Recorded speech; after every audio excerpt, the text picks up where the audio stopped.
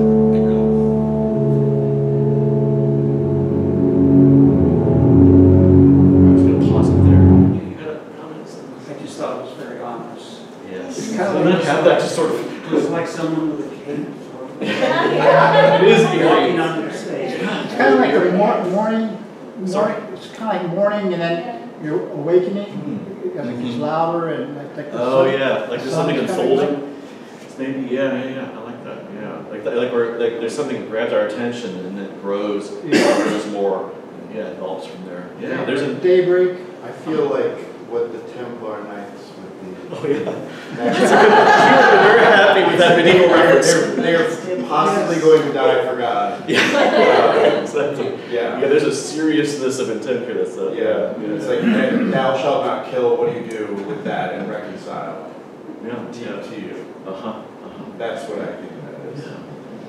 Anything else? Well, Thank you for listing the uh, instruments. Yeah, yeah, they're, they're so important. Yeah. They're I So, I, the part that was the trombone, mhm. I couldn't figure out what that was. it is kind of an unusual sound at first, isn't it? It's just this, it's the sonority. Uh, and yeah, they're not playing enough notes maybe to, to know. It's a instrument, so you hear, it's not simple drum. But, but it's just that, he, and, and he wants that color. And it's amazing how trombones, they've been used as all through the ages, back to the Middle Ages even, for royalty. Brass. We think of usually like trumpets, you know. Mhm. That's why, does anyone know where in the Messiah trumpets and drums uh, appear? On what chorus? You might have heard this chorus. It's a, the blank chorus from Messiah. The hallelujah chorus. The poor trumpets are sitting there the whole thing. As soon as it's King of Kings, they raise their instruments. Uh, that's exactly why he was doing it. And so, and this is a movement of, that it's a prayer to Jesus. But it might be a little different side of Jesus of the many sides, or the many sides of the deity of God, uh, the Trinity, that we think of. This is not what a friend we have in Jesus. Jesus is something much more. In fact, um, the, the, the text here um, is is um, I not have it up right away? Domine Jesu Christ uh, Rex Gloria, King of Glory. So Jesus as King. I don't know if we really know what it feels like when we, in modern, you know, United States, to when we use the terminology Lord, King. I don't know. I think it's gone from our culture a little bit.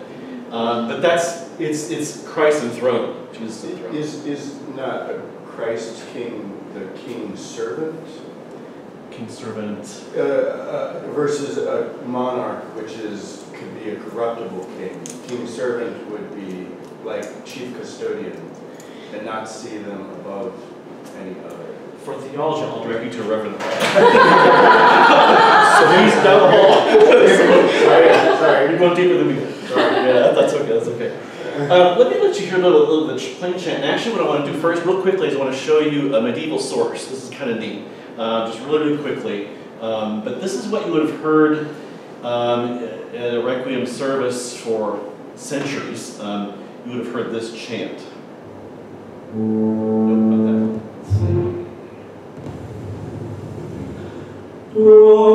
I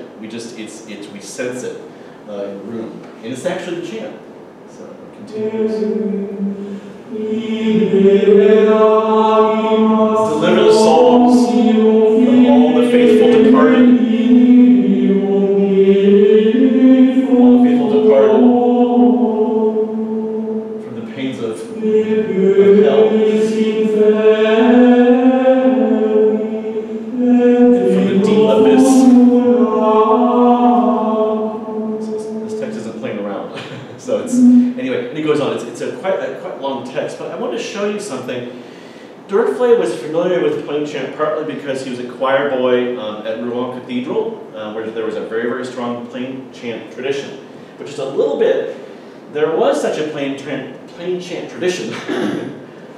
um, not because there was an unbroken tradition reaching back to the Middle Ages. There is, there was. It's the only chant repertoire in the world that there's, there's never been a time when it was not performed. But it changed over time, different practices with instruments, without, with rhythms, without, but the monks of the Solesmes Abbey um, in northwestern France um, did the gargantuan, uh, or, or took on the gargantuan task of sifting through the thousands upon thousands of sources that have come down to us from the Middle Ages and figuring out the genealogy of these sources and figuring out what was original, what was changed over time, and why, to come up with an authoritative tradition of chant in the late 19th century. One of their sources, I've got the directions for walking, that's what it gave me when I did Google some typical European, European let's walk to St. Gall in northwestern Switzerland. This, this abbey, St. Gall, founded in the 7th century uh, by, we think, an Irish monk, um, uh, Gall. Uh, and then an abbey was built on that site a century later. And then a library in the 900s. And it is, uh, the abbey burned in, in, the 10th century, I believe, but the library didn't. And it is probably the most important source for medieval manuscripts in Europe. And they're, they're music manuscripts. Um, there's the abbey today. It's a rococo. It's a much later structure. But There it is. There's the library also, 18th century. It's part of it anyway. So I could show you probably the earliest source. There are about five, but they're all about the same time. This is St. Gall, let's see, I have the number, 139. Anyway, it's, it's manuscript 139, I think. Anyway, that's what it looks like. And if we go to page, so this is number one, the 39 doesn't matter, the number doesn't matter. 145, page 145. You will see requiem text. This was um, 900s, we're not sure, um, sometime in, in, the 10th century. Um, and this is so early that they weren't using a staff yet. But actually, um, let's see here. I'll make this big. Right there, you see the word requiem? Mm -hmm. They were just using what are called neumes, but no lines. A lot of it was still uh, by memory, but requiem the notes thousand years ago. And then here is our Domine Jesu. Da da da. It's actually a little bit different than the original. But there it is, 900s. He started using a staff around the turn of the millennium, um, uh, and then probably the single most far-reaching development in Western history is the development of notation, notation makes polyphony possible, and then polyphony is the bedrock of so much Western music, even really up to popular styles. Um, I mean, so this sounds like an overgeneralization or maybe a, but the fact that there are styles in the 20th century that, that we all expect multi-instrumentalists in the room covering separate parts it's a polyphony. We, we expect that texture. Uh, it, it, really, uh, it, all the way back, whether you're talking Beethoven Symphony, uh, Palestrina Motet, Duruflé Requiem, it is multi-part music. Lots of the world gets along beautifully well running with beautiful music that's monophonic, one part. Um, so, anyway, moving on. Uh, all right, so there's our chant, there's our source, um, and he was part of a movement to recapture some of these plain chant earlier techniques. We saw neo-medieval movement with introit, kind of a neo-renaissance movement with the Kyrie. So uh, moving on with the uh, Domine Jesu Christe. This, by the way, is what their, what their additions looked like. Um, they used a four-line staff because that was the, the norm in the Middle Ages before they added another line later. um, but it's, you could all read this if you read any music at all, um, once you know that that's a C, or that's an F, excuse me, that's an F, so that's the F line meaning that's F, E, D, and if there are two notes above one, uh, one top of the other, you go down up. So, Domine Jesu Christe. They did that a thousand years ago. And before that, before they wrote down, of course, they knew they knew the tune by ear. So, sure. So this would be, uh, I'll say the note names. This is, that's F, so F, E, D, D, C, D, D, D, D, C, D, D, F, D, D, C, F, uh, E, F, G, uh, hmm, this is a little different, uh, D, so this goes F, D, F, so this is like you- you're about to write an F on that line, but he comes back down and goes F, D, F. Uh, Yada-dum, E, F, D, uh, E, F, E, D. I practiced this, so anyway. Something like that. I'm not ready for the tour. Uh, Okay. All right, now, so I want to dive into the, the movement itself, um, and what I want to do is I want to, to watch a YouTube video, or a video that was posted to YouTube. Um, this is a Polish orchestra course. I'm not familiar with them, but they posted one with a, with a translation, which is good because it's a long text. Uh, and I do want you to see the orchestra because the instruments they really do play a very very important role. They don't just they're not just background. They're not just doubling the voices. They're really key from the very beginning.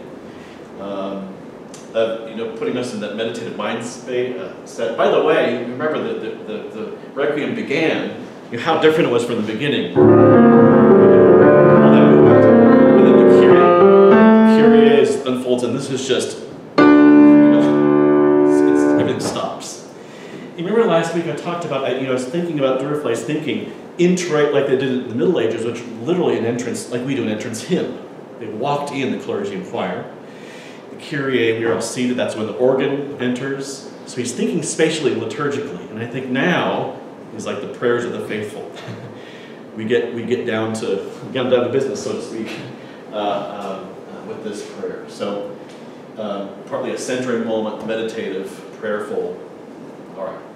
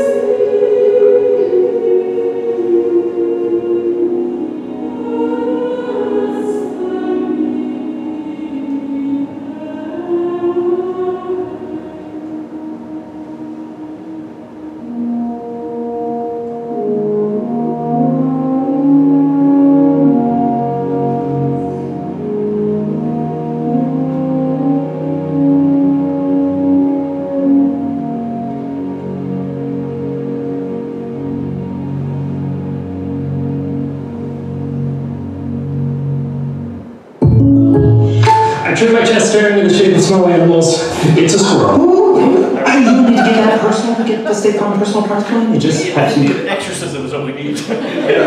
Nicholas. Yeah, anyway, okay, I apologize for that. Uh, okay, back to this. It's a little surprising after the first couple of movements, isn't it? Um, you know, after the beautiful, beautiful to get these passages here, really, really, really something. Um, any quick, just a quick uh, response before I kind of walk through this a little bit? Initial, initial. Uh, I love, uh, it, it, you know, that. It's the simplest thing ever. Like, you know, uh, it's just, but it's it, when it's exactly right. You know, Miles Davis said sometimes you only need one note if it's the right note. Um, anyway, let's. Uh, uh, so okay, I'm gonna um, compare a couple of things here. So here's here's the opening text. I'm not doing the Latin. There's just way, way too much on the slides. Um, so again, I just want to reconnect real quickly with the chant. I just want to let you, as a way to, to show you what he's doing differently with the piece right off, because it's it's a it's a nice kind of door into um, what he's after. So here's the chant.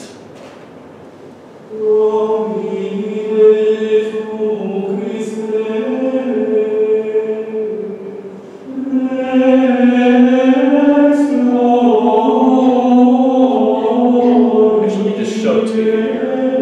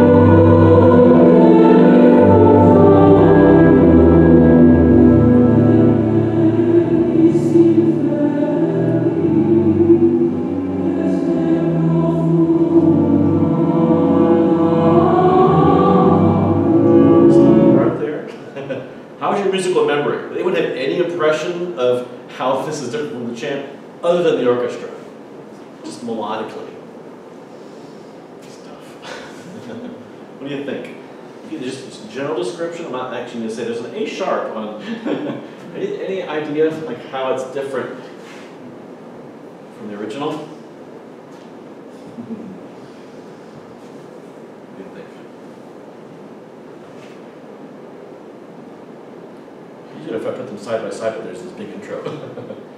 Let me show you. There is the original. Uh, especially look at this line, and here is what he wrote. Um, there's a lot more on the page. Anyone put anything out about that original versus that? It's not real obvious from the note notation.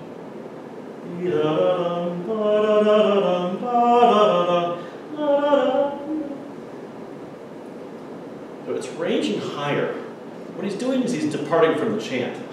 He starts with the chant, da da da da, just like the just like the original.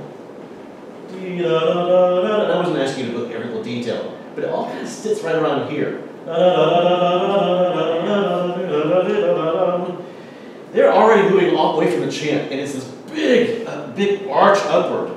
Uh, and then these markings mean start quiet, uh, a little bit of weight there, and then mezzo forte, medium loud, it's high, it's more open. It's much more um, impassioned. It sounds like a plea, you know? It sounds like a plea. Uh, a very human, very emotional plea. Um, which, and that plea is going to, it's just going to grow and grow and grow. Um, uh, there's more, of course, the orchestra can take care of the harmonies, there's a harmonic progression, we're moving. Uh, in a way that we weren't moving in the first two, in the first two moments, the first two movements. This leads to the big moment. I know you remember from the video when the whole, they call it tutti ensemble, the entire ensemble, enters with this text, delivered from the mouth of the lion. Let's just listen to this and we'll turn it down so we don't blow anyone's ears out here.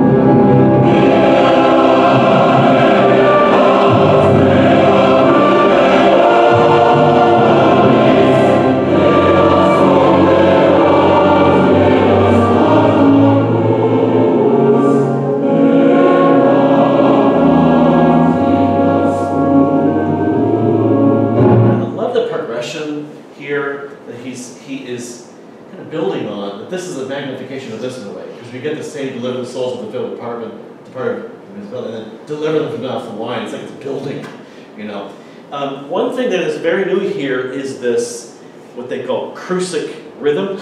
Crusis is downbeat rhythm or onbeat rhythm. Anacrusis is upbeat.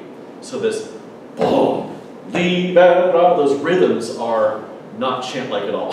Everything up to now has been rest, or one, requiem, and that relates directly to the Solesmes method of singing chant. It was often it was um, chant kind of like took flight from a rest, from a springboard, da, da, da, so that it's more fluid. This is one, da, so just the full weight of the whole ensemble, this kind of shout. Uh, you know, you want to notice what's going on here uh, too. In, in here, there's some very, really odd things going on, on there harmonically.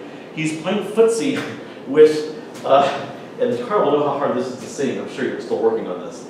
Um, for about 40 years now, um, the world had been familiar with a style of, of harmony termed atonality. Atonality. It is an invention. This is not a harmonic language that um, is influenced by any folk tradition we know, it, it literally is the invention of Schoenberg and then Charles Ives in this country.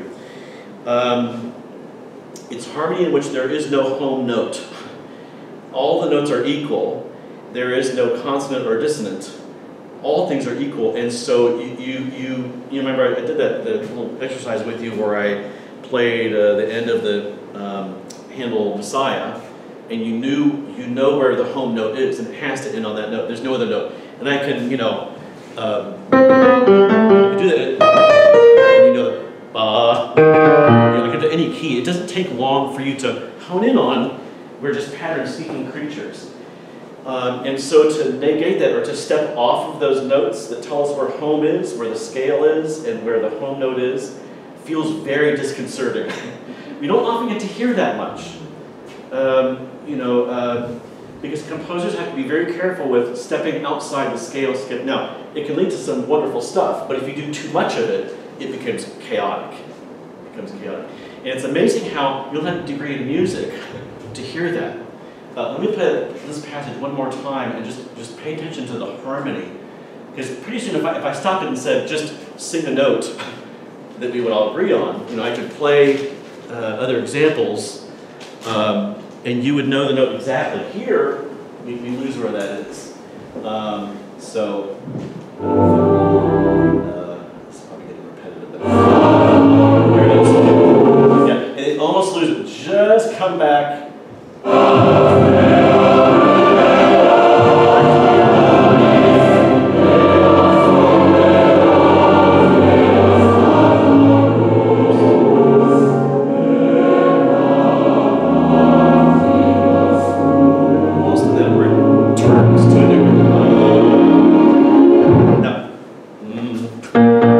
Your ear goes, that's the note.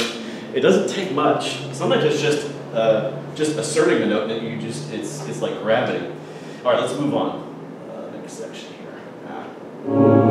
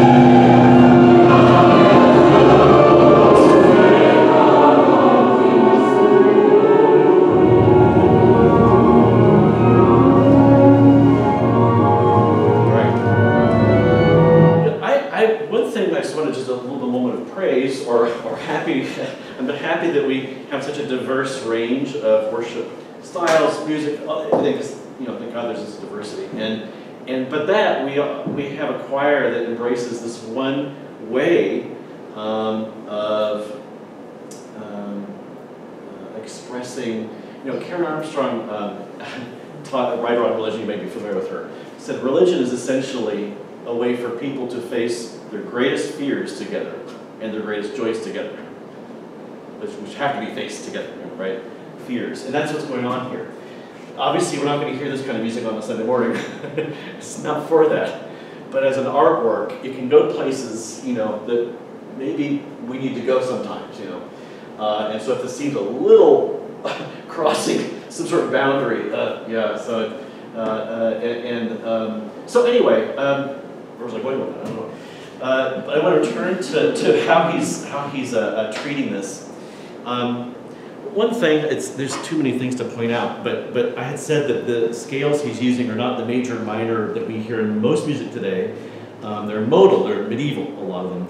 Uh, and one result of that is you, you get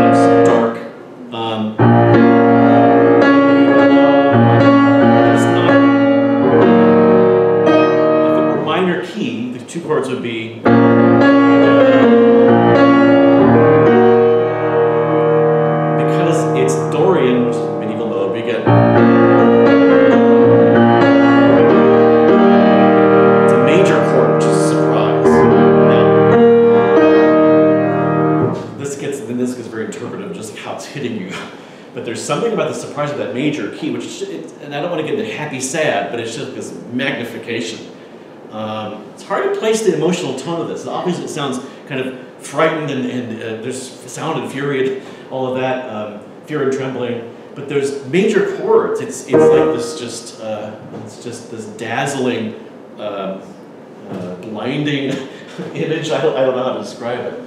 But it, it's, it's so much more colorful than he you just up with two scales, became norm for, for you know, uh, since basically the 17th century. So, okay. Um, all right, so then he switches gears. Um, I, I think, um, oh, there, there's something I want to point out here, a couple, couple of details uh, also. The rhythm here, I'm pretty sure he was thinking tarantella. A tarantella is a folk dance. There's a kind of a mythology associated with it. So composers in the 19th century would write tarantellas if they wanted to evoke the macabre and thoughts of death. So this is a, the story goes, mythology goes as you get bitten by a tarantula and you dance this dance and you dance out the poison. Now, then it becomes very kind of metaphorical, right? It's a dance to like avoid death, like to, to you know escape death. Um, it's a fascinating, uh, uh, has a fascinating history. Anyway, so the dance, uh, most of us know the fun turn. Most of them are not quite that happy-go-lucky. Uh, they're minor key, but they are fast. They're triple time. So you get a fast tempo, and then da da da da da da da da da da da which you're hearing there with in the orchestra. Here is a, a tarantella by Franz Liszt. Um,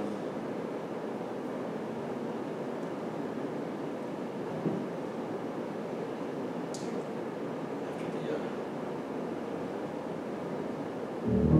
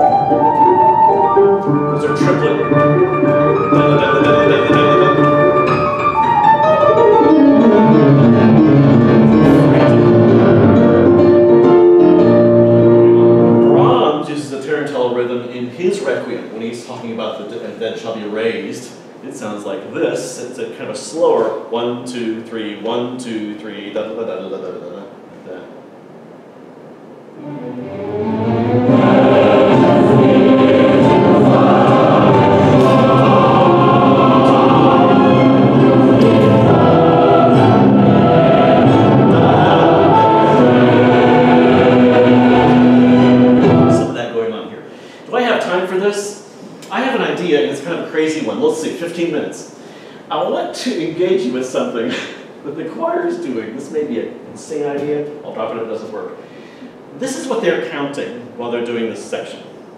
Okay? So, one, two, three, one, two, three, one, two. Now it looks different on their page. One, two, three, four, one, two, three. Can you count that? Count it. Ready? Two, go. One, two, three, one, two, three, one, two, three, one, two, three, one, two, three, four, one, two. Good, good. Good. You're ready for the choir. There's going to be some twos in there. You want to try counting it? Can we do this? Let's try it. I'll bring you in. So it's going to be da da da da da da one, two, three. You just go one, two, three, one, two, three, literally like that. Okay? All right, here we go. Here we go. I'm to have a little blue there just if you lose your place. Let's give this a try. Because I know no better way to like pull us into what's going on here musically because the choir has to count that. These are meters, basically, organizations of the beat. Against it, they're going libera, against this one, two, three, four, three, two, three, two, this chaos of, of rhythm. Uh, it's like being out, out at sea. All right, let's give it a try. I'll bring you in, just watch me. I'll, I'll do this and go one, two, three. Here goes nothing.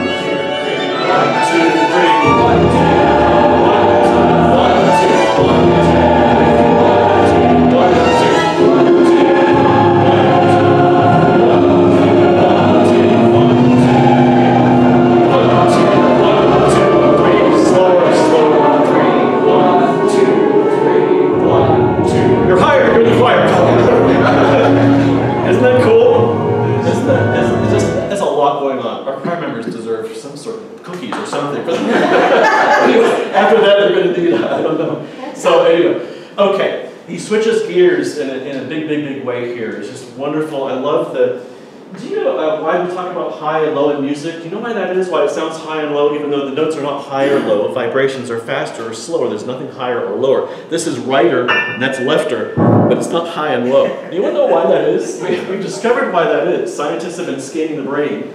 It's because the neural pathways that we use for music cross into every known part of the brain. Every known part. They don't actually know how many parts, but they know it crosses into the visual cortex. So to your brain, the music is visual, it is spatial.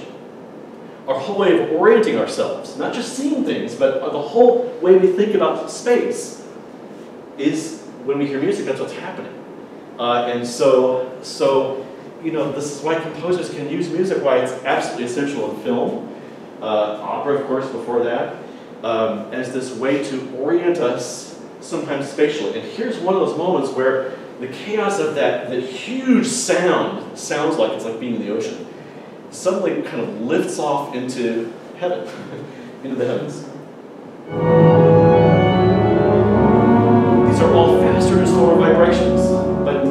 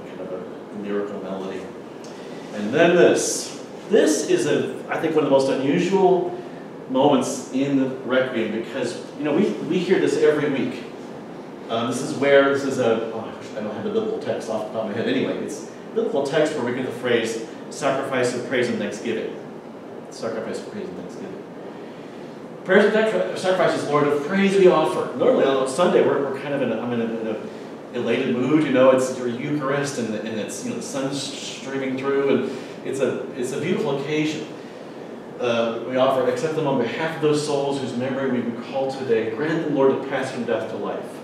And what he gives us is this.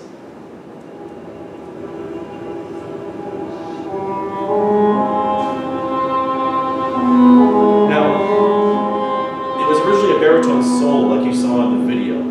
Some choirs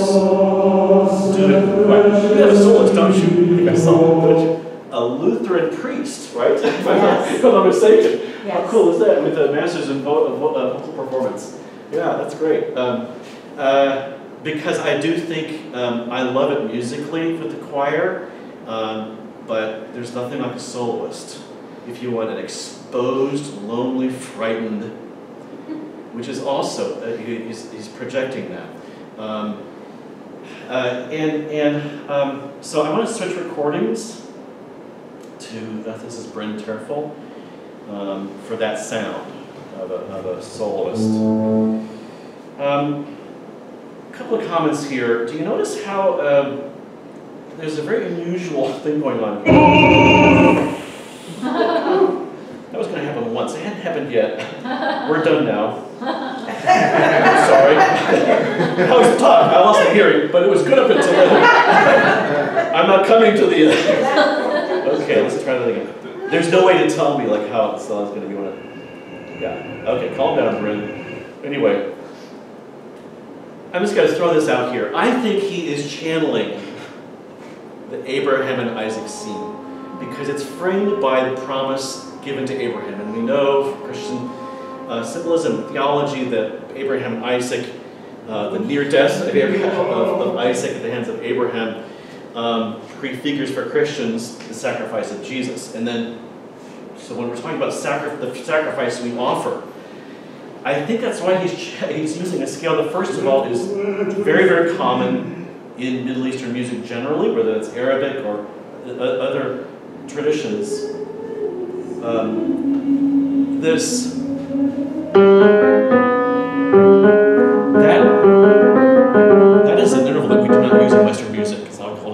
10 second is the fastest way to, to put us in that channel of, and I think he has in mind Abraham. Why is it a male soloist singing by himself? Why the instrument that sounds vaguely? I can't prove it. Regardless, it, it, its effect is, is something. Um, and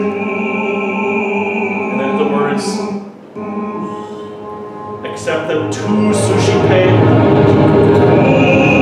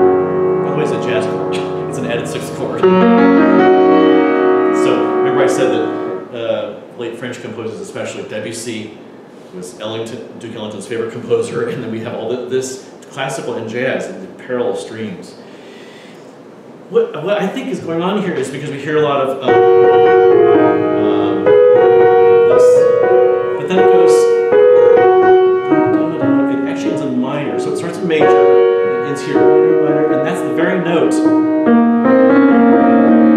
other words, it's like a minor here and a major. You put them together, and you get, you get, it right. Uh, it's it's warm, it's consoling, it's major, but there it's like there's this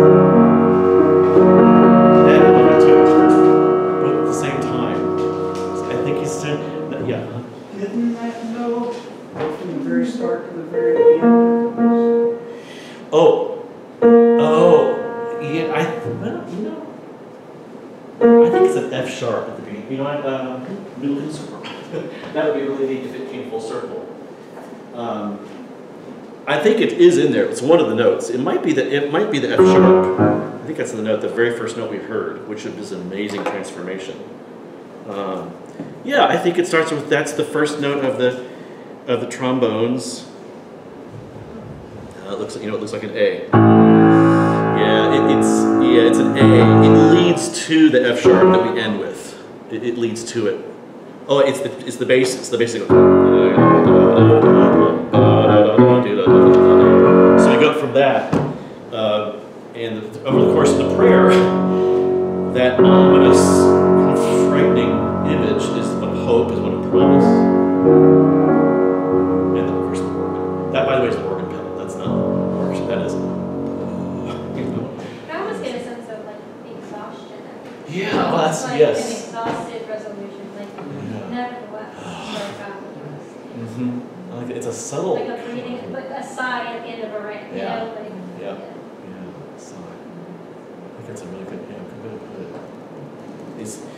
It's you know we can talk about these ideas, but music enacts it. You know, it puts us. It's an experience. It's not just words or ideas. They're lived, and so I think you know we're taken through that journey of, of confronting fears and uh, and then um, yeah, I think that almost catharsis. You know. Did Derek write this for like in honor of someone he had lost? His father.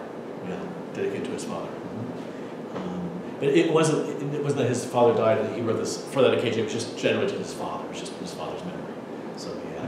And it, and it was for an All Saints service originally, it was not for actual, an actual funeral. It was intended for the very way we're gonna hear it now, uh, in, uh, this month, so, yeah, for like all the faithful whose memory we pray today, is, is what this is for. But also, but here's the thing, as, as a, you know, it's the voice of the congregation. We're, and here's the thing, I think in a very important way, this is part of a liturgy. It's not the concert hall, which is wonderful. I, I think I told you that was my first taste of Roanoke, because I went to the Duruflé Requiem, Roanoke Symphony. I thought, I'm gonna stay here for 20 years at least. so it really was, it was a beautiful performance. Um, but in church, we're not mere spectators, of course. And I know you know the phrase, the choir sings on behalf of the congregation. Well, it's, they're offering, or, you know, this, you know, they're, they're um, speaking for us, and, and so, it's, so it's, it's a shared experience. I'm sure where I'm going with that, but anyway, so. Any other details or thoughts or? All right, thank you. Thanks for being brave about the one two. Sorry for the technology glitches up here, hearing.